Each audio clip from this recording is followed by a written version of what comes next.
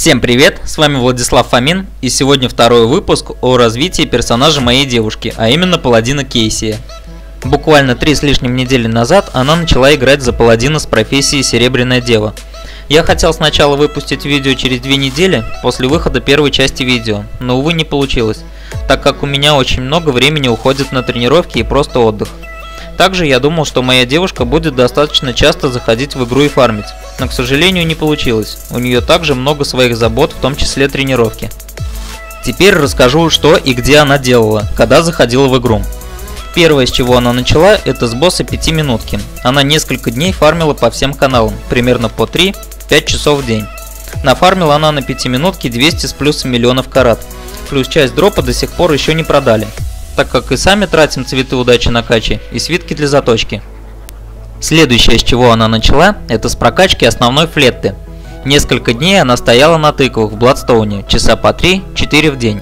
Вкачала она полностью флетту Ян и воздух, ушло на это 3200 очков флетты. Дальше она начала качать кота. Качала она его в Посетунии, сначала на крабниках, потом на сквилых войнах, заодно била банки ОЗ. На данный момент кот имеет седьмой уровень и профессию удачи, которая дает прибавку к шансу выпадения предметов с мобов и к шансу крита персонажа.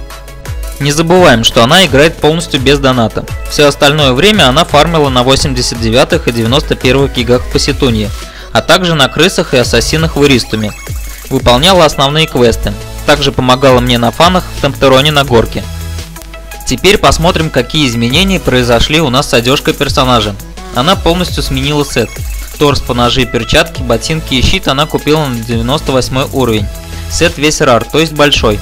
Купила она каждую шмотку без заточки, с какими попала статами. Все шмотки удалось вогнать с нуля до плюс 5, потеряв всего один раз защиты. Затем пытались точнуть перчатки на плюс 7, у нас это получилось, но при точке два раза сожгли защиты. Также перенесли белый стат 90 физ защиты, который купили за 15 миллионов. Также поставили желтый стат плюс 90 физзащиты. Во все остальные части сета мы также перенесем белый стат плюс 90 физзащиты. Статы мы уже купили, три шмотки за 45 миллионов. Желтый стат будем также ставить плюс 90 физзащиты. Щит мы сразу взяли со статом плюс 90 физзащиты за 35 миллионов, так как белый стат в щитах не переносится. Также весь сет поставим руны плюс 55 физзащиты и плюс 16 рейтинг атаки. В ближайшее время мы будем дотачивать сет до плюс 7, потом переносить белые статы и ставить желтые статы. Затем поставим руны.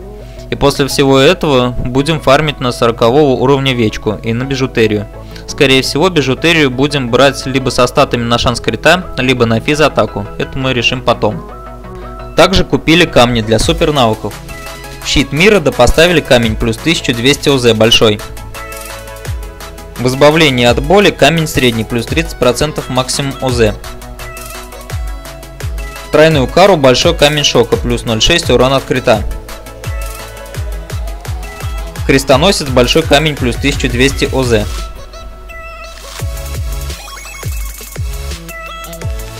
В божественное бесстрашие не стали ставить камень, чтобы откат у скилла не стал очень длительным, так как скилл очень полезный.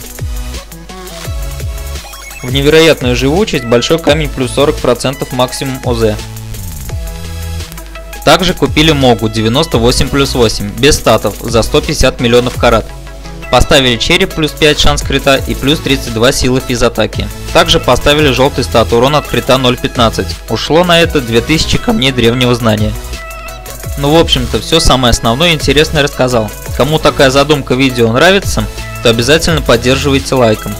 Видео на эту тему буду выпускать примерно раз в 3-4 недели, чтобы как можно больше показать изменения персонажа.